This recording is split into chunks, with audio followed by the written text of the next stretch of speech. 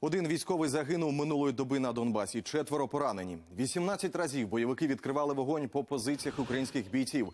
Накривали з мінометів, озброєння, БМП, гранатометів та стрілецької зброї. Найгарячіше було неподалік Авдіївки та Золотого. Російські окупанти атакували там із потужних мінометів. Українці відкривали вогонь у відповідь. За даними розвідки, трьох окупантів знищено, чотирьох поранено.